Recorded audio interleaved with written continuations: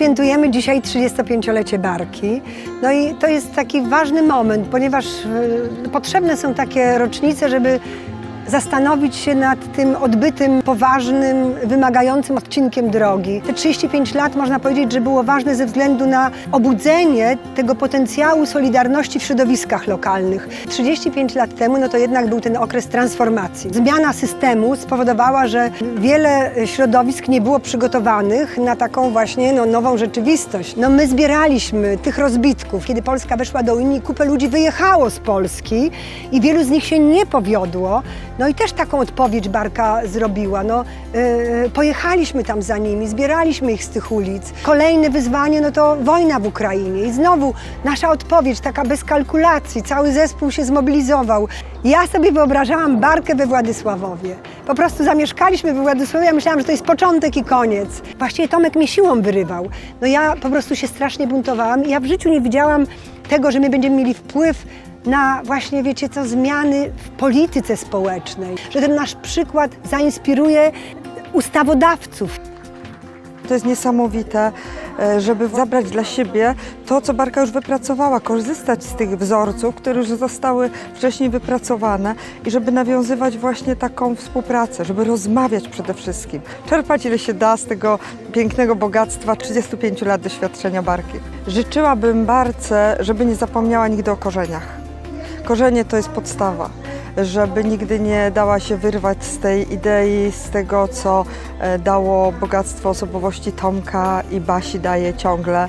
Jesteście tacy bogaci wartościami e, ludzkimi i za to, że nareszcie mogłam widzieć, jak wygląda świat według ewangelicznych przepisów nie zapomnieć o tym, co mówił Tomek Sadowski. Ciągle od pierwszego domu we Władysławowie do ostatniego domu tutaj w Chudobczycach powtarzał ciągle i mówił nie lękajcie się. Lęk jest więzień. Zawsze nam powtarzał też Tomek Sadowski, że jesteśmy braćmi i siostrami. Wszyscy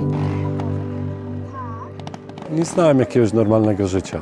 No, moje życie to był, no, był zakład poprawczy, kryminał. Większość mojej rodziny zapiła się na śmierć. Wszystko co dobre to w moim życiu no, to zdarzyło się w barce. No, nie?